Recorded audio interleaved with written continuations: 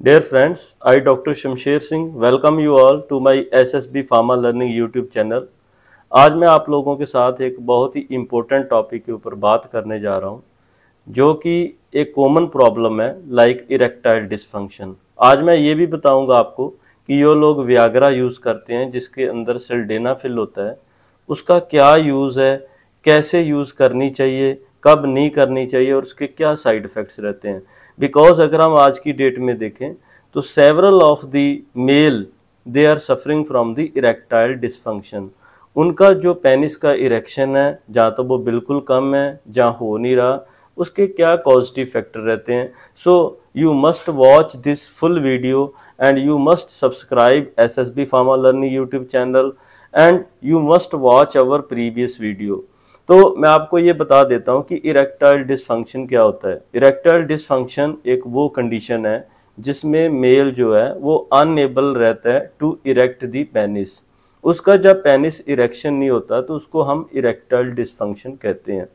अब बेसिकली आज हम बात करते हैं कि व्याग्रा जो है, वो है क्या और वो कब मार्केट में आई और उसका यूज़ क्या है।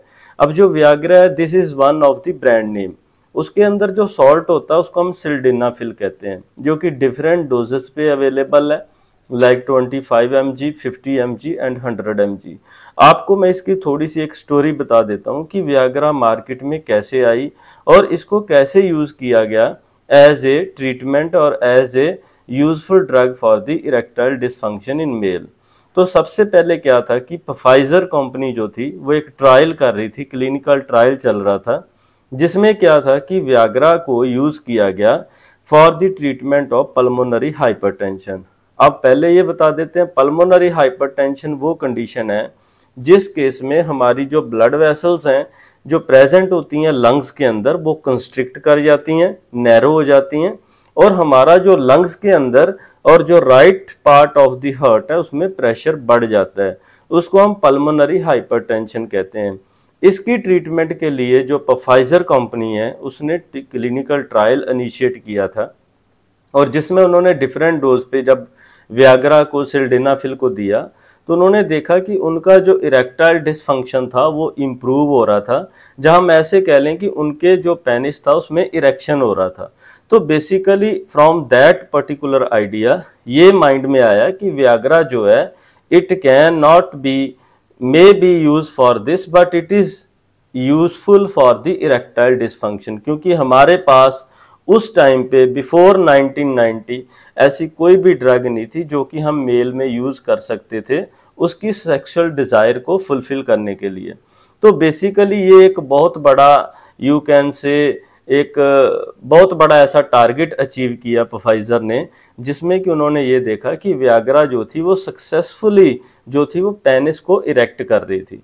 अब जो एक सक्सेसफुल स्टोरी के साथ जो व्याग्रा थी, वो मार्च 1998 में एफडीए ने उसको अप्रूवल दे दी कि that drug Viagra can be used for the treatment of erectile dysfunction ये वो मेल लोग यूज़ कर सकते हैं जिनके पेनिस में इरेक्शन नहीं होता।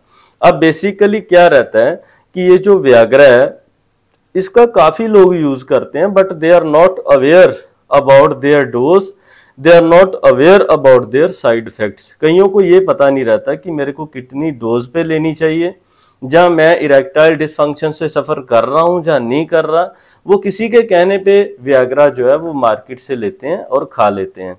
और खानी कैसे ये भी नहीं पता रहता।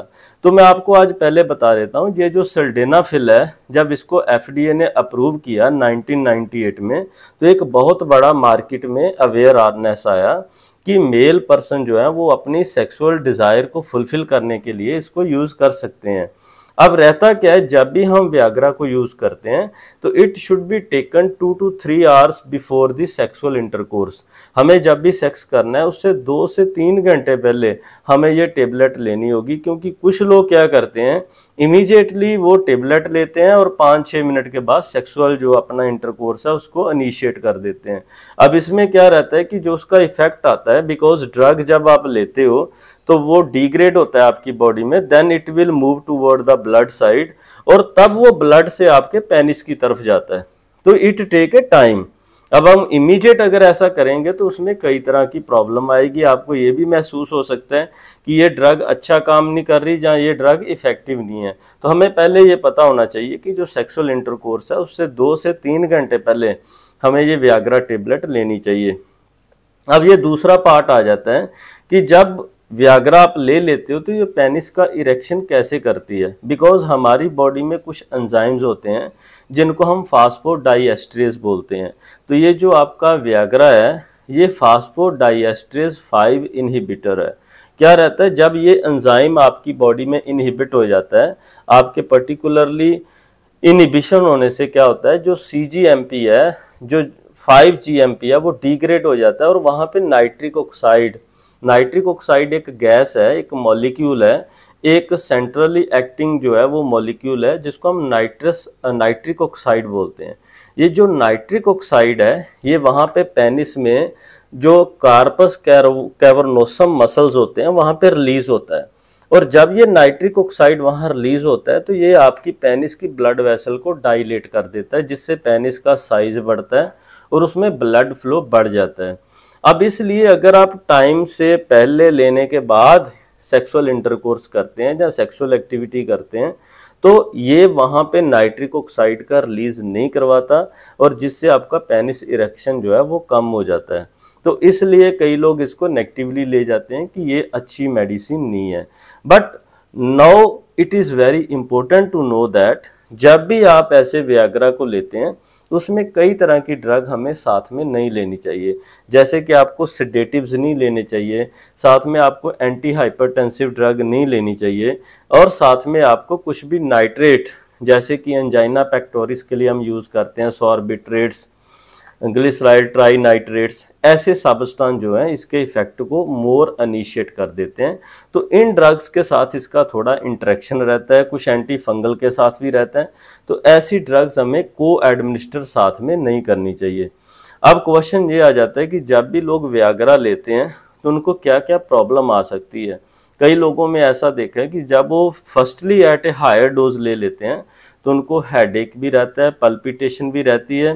फेस पे रेडनेस है फ्लशिंग होती है ब्लड की, और साथ में कईयों को चेस्ट पेन भी होना स्टार्ट हो जाता है बिकॉज़ इन सर्टेन कंडीशन अगर आप directly higher dose 100 M G fifty M G पे ले लेते हैं, अगर पहले आपने यूज़ नहीं की तो उस केस में आपको हार्ट में प्रॉब्लम आ सकती है बिकॉज़ ये क्या करती है? Viagra reduce the heart rate तो ये हार्ट रेट को रिड्यूस कर देती है। दूसरा, ये कई बार स्ट्रोक के जो पेशेंट्स रहते हैं उनमें व्याग्रा का यूज़ नहीं किया जाता और नेक्स्ट रहता है मायोकार्डियल इन्फाक्शन जिन लोगों को पहले हार्ट अटैक आया होता है, उनको व्याग्रा का यूज़ जो है वो अवॉइड करना चाहिए। अब ये इम्पोर्टेंट रहता है कि जब भी हम व्याग्रा लें तो उसके लिए हमें प्रॉपर नॉलेज होना चाहिए। ये व्याग्रा के कॉमन साइड इफ़ेक्ट रहते हैं।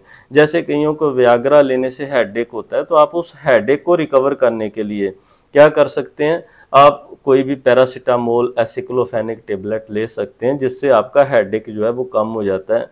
अगर किसी को व्याग्रा लेने से स्टमक में इरिटेशन रहता है या उसको वॉमिटिंग आ जाता है तो उस केम उस टाइम पे आप लोग व्याग्रा के साथ या उसके बाद पेंटोप्राजोल और साथ में डोम पेरिडोन का जो कम्बिनेशन रहता है, वो आप ले सकते हो। Anti emetic drug domperidone भी आप ले सकते हो। इससे आपका जो जीआईटी इरिटेशन है, जो आपका गैस्ट्रिक एसिड सिक्रीशन है, वो कम हो सकता है। और दूसरा आपका जो जीआईटी ट्रैक है, वो कंफर्टेबल रह सकता है, क्योंकि व्याग्रा लेने के बाद हमें क्या रहता है? जीआईटी डिस्टरबेंस हो जाती है और कई बार कई लोगों को वॉमिटिंग इनिशिएट हो जाती है। होप की जो मैंने आप लोगों के साथ ये इन्फॉर्मेशन शेयर की कि व्याग्रा कैसे काम करती है it will be very useful to all of you so you must like and share this type of video and subscribe S S B pharma learning YouTube channel you are welcome thank you very much